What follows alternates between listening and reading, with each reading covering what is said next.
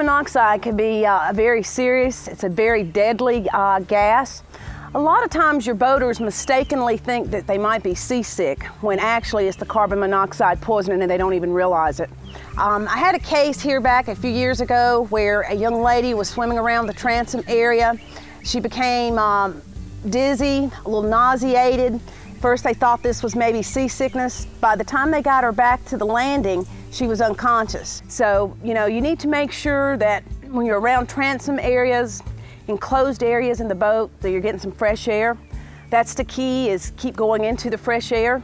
These gases are odorless, they're invisible. Um, you need to make sure that in your boats that you have some type of carbon monoxide detector, just like a smoke detector.